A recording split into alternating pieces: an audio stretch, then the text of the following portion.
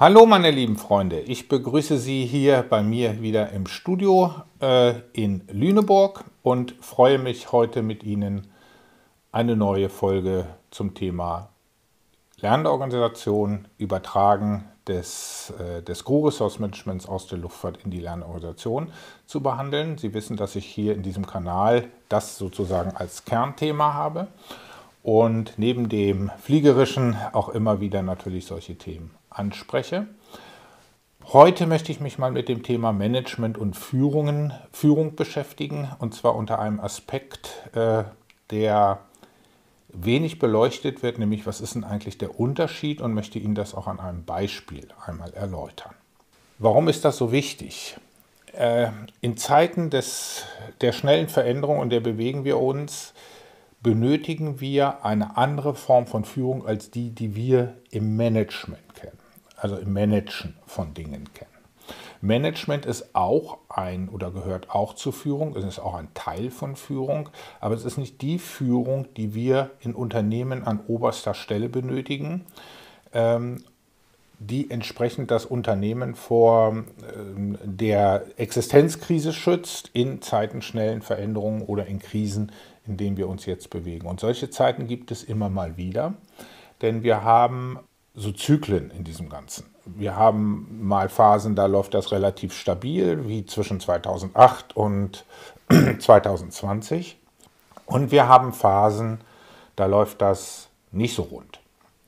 Das ist jetzt wieder der Fall. Ab dem Jahr 2020 begonnen mit der äh, Corona-Pandemie, jetzt in diesen Multikrisen, in der ja, Neuordnung der Weltpolitik mal wieder. Sowas hatten wir immer mal wieder in den 80er Jahren. Wir hatten es äh, in den äh, Mitte der 90er Jahre. Wir hatten also als Folge der äh, auch Veränderung der Weltordnung. Und ähm, wir hatten es kurz mal, ähm, als die Immobilienkrise war. Aber das war eben wirklich nur ein kurze, kurzes Aufflammen. Aber danach war eben relativ lange Stabilität. Gehen wir aufs Thema ein und dazu blende ich einmal meine äh, Präsentation ein, die ich dafür vorbereitet habe. Die sehen Sie jetzt. Und da bin ich mal aus dem Bild heraus. Vom Manager zur Führungskraft. Was bedeutet das? Wo endet das Management? Wo beginnt die Führung? Und das ist auch ein Teil der Lernernorganisation, denn zur Lernernorganisation gehört auch Führung, da gehört nicht nur Management. Also Führung im, im Sinne von, wohin geht eigentlich der Weg. Und damit man das besser sichtbar macht, ähm, ich habe ja meinen äh, äh, Freund äh, Stephen Covey, äh, der das in den 90er Jahren oder in den ja, späten 90er Jahren schon einmal beschrieben hat. Und da habe ich das erste Mal gelesen, eine, eine schöne Definition von äh, dem Unterschied zwischen Management und Führung. Management ist, wenn man Dinge richtig macht und Führung ist, wenn man die richtigen Dinge tut. Und genau das möchte ich Ihnen jetzt an einer kleinen Geschichte einmal äh, erläutern, was damit gemeint ist. Stellen Sie sich Folgendes vor. Es ist eine, ähm, eine Dorfgemeinschaft, eine kleine Gruppe von Menschen, die lebt seit vielen Jahren in ihrer Umgebung, dort in einem Gebiet vor einem Wald relativ karg äh, und spartanisch. Das heißt, sie lebt unter relativ ärmlichen Verhältnissen. Sie hat nur Ziegenmilch und ein paar Ziegen. Da gibt es keine Fälle, mit denen man handeln kann. Es gibt kein Fleisch außer Ziegenfleisch. Es gibt nichts Wärmendes im Winter und so entwickelt sich diese Gesellschaft auch nicht groß weiter. Sie hat also den ganzen Tag eigentlich mit dem eigenen Überleben zu tun und keine Zeit mehr, sich irgendwie nach vorne zu entwickeln. Und da passiert eines Tages Folgendes. Und das ist mehr oder weniger Zufall, dass, das, dass sie das entdeckt. Es ähm, kommen auf einmal aus diesem Wald ein, ein, paar Rinder und ein paar Schafe hervor. Immer mal wieder so vereinzelt und dann kommt man auf die Idee, die mal zu erlegen. Und schon hat man Fleisch, man hat Leder, man hat Schafsfell und kann sich auch im Winter besser aufstellen, kann Vorräte anlegen. Und der gesamte Lebensstandard dieser Gruppe, dieser Dorfgemeinschaft, dieser Gesellschaft steigt. So. Und denen geht es immer besser und es wird auch, dadurch wächst auch diese Gruppe von Menschen, dieser Dorfgemeinschaft oder Gesellschaft, je nachdem, wie man das benennt. Und Man freut sich der Dinge. Und irgendeiner kommt dann mal auf die Idee und sagt, hm, lass uns doch mal gucken, was in dem Wald ist, denn irgendwo müssen die Tiere hierher kommen.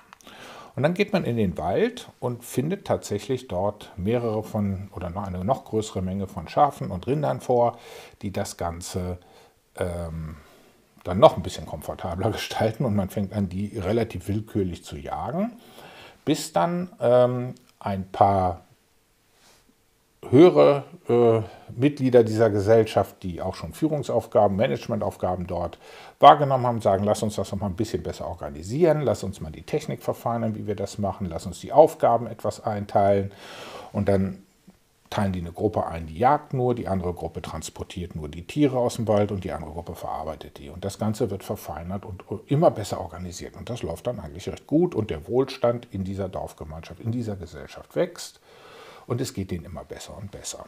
Man kann auch ein bisschen was zurücklegen für schlechtere Zeiten etc. pp. Und dann gibt es natürlich auch einen Dorfältesten und einen Dorfführer dort und der sagt, du zu, dem restlichen Gemeinschaft, zu der restlichen Gemeinschaft, lass mich doch mal auf den Baum klettern und gucken, was denn hinter dem Wald ist. Denn irgendwo müssen diese Tiere ja herkommen. Und dann sieht er erstmal, dass also hinter dem Wald ein Wall ist, dass man da nicht durchgucken kann und nicht rüber gucken kann. Deswegen haben die auch bisher irgendwie nur diesen Wald wahrgenommen. Und wenn er noch ein bisschen höher klettert, dann merkt er, dass hinter diesem Wald eine große, eine große Wiese ist, wo diese Schafe und ähm, diese, die, äh, diese Rinder sich vermehren, wo noch mehr davon da ist. Und er sagt, aha, da kommen die also irgendwie her. Die laufen dann irgendwie entweder über diesen Wall oder hinten rum und dann sind die im Wald. Er klettert freudig runter und sagt zu seinen Managern, lass uns doch mal hinter den Wall gucken, da sind noch viel mehr von diesen Tieren und vielleicht kann man da irgendwie noch etwas machen, ähm, um noch an mehr zu kommen und äh, vielleicht damit Handel zu betreiben. Dann sagen die Manager, lass uns doch damit zufrieden, wir sind doch hier gerade so äh, gut dabei und du störst hier eigentlich nur mit deinen Ideen. Hilf lieber hier, die Tiere entsprechend äh, zu erlegen und äh, dass wir hier weiterkommen der ärgert sich ein bisschen und sagt, hm, wozu habe ich denn das jetzt gemacht? Ich habe eigentlich hier neue Ideen reingebracht und man will diese Ideen gar nicht haben. Was, was ist los? So, und dann gibt er erstmal auf und sagt, ja, lass, wir machen einfach weiter. Der Gruppe geht es wirklich gut. Irgendwann kommt der Manager, der die Führungskraft, der, der Dorfälteste nochmal auf die Idee, auf diesen Baum zu klettern und sieht ganz hinten dann einen Wolf auf dem Berg und sagt, oh, jetzt ist aber Gefahr im Verzug, denn wenn dieser Wolf runterkommt und die Tiere frisst, dann haben wir ein Problem und äh, geht wieder runter und erzählt das seinen Managern und sagt, wir müssen nun langsam mal was tun, da hat sich was verändert, also ich habe was gesehen, was nicht gut ist. Da ist ein Wolf in den Bergen und wenn der runterkommt und die Tiere angreift, dann, dann haben wir keine Tiere. Und die Manager wieder, lass uns doch zufrieden, hier läuft doch alles, diese Gefahr existiert doch gar nicht und wir wollen uns damit jetzt nicht auseinandersetzen. Wir haben so viel zu tun, da haben wir jetzt auch gar keine Zeit für. Und der ist wieder etwas frustriert und ja, wie der vermutet hat, irgendwann kommt der Wolf nun runter und frisst tatsächlich aus dieser Weide eine Menge Schafe und eine Menge äh, Rinder auf. Und in dem Wald ist aber noch alles in Ordnung, weil der Wolf, der Wolf geht nicht über diesen Wall hinaus und die Manager sagen, es ist alles bestens und alles ist in Ordnung. Und ähm, obwohl der Dorfälteste nochmal auf den Baum geklettert ist und gesagt, du, Leute, da, da, ist jetzt Handlungsbedarf. Wir müssen was tun, weil der Wolf frisst da äh, Schafe und Rinder. Er sagt, ach, das wirkt sich doch hier auf den Wald gar nicht auf. Lass uns in Ruhe. Wir haben überhaupt keine Zeit. Wir müssen uns hier um diesen Ablauf kümmern. Wir wollen das nicht. Wir, wir können da jetzt keinen hinschicken und gucken. Und wieder ist er etwas frustriert und, und äh, schmollt so ein bisschen vor sich hin und weiß nicht, was er machen soll. Von einigen Managern wird er sogar aufgefordert, sagen, kümmere dich hier lieber um die Arbeit, die äh, da noch übrig bleibt. Da hast du genug zu tun, da brauchst du nicht jedes Mal auf deinen Baum zu klettern. Kriegt also noch Vorwürfe zu hören.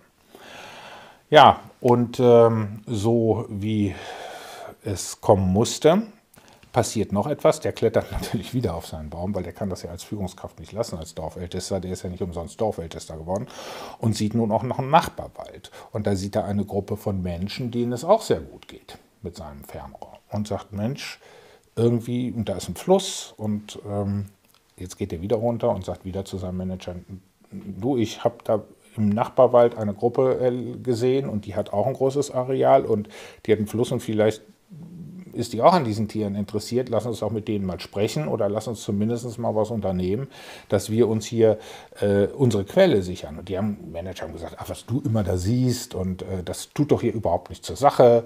Wir haben doch hier unseren Wald und lass doch die anderen mal die anderen sein und ähm, das wollen wir hier gar nicht haben. Und er klettert wieder runter und kommt wieder nicht zum Zug. Die Manager wollen das eben nicht. Die wollen ihr Management machen. So, und eines schönen Tages passiert Folgendes. Der Wolf ist natürlich auch noch da und, und treibt da sein Unwesen, aber bisher nicht so, dass da wirklich ein merklicher Schaden entsteht. Es ist hier und da mal ein bisschen weniger Getier im Wald, aber das stört jetzt die Manager nicht so, weil die sagen, naja, sowas kommt halt mal vor, das kommt und geht. Aber irgendwann kommen die Gruppe, die im Nachbarwald äh, sind äh, und da leben, auf die Idee, mit ihrem Boot auf einen Fluss zu fahren, also ein Boot zu bauen und dann auf den Fluss zu fahren und da mal nachzugucken, was da los ist. Die sind nämlich ein bisschen agiler, die lassen das nicht so einfach geschehen und die haben auch Tiere von dieser Wiese bisher genommen und das haben die anderen gar nicht mitbekommen, weil die ja nur immer auf ihren Wald geguckt haben.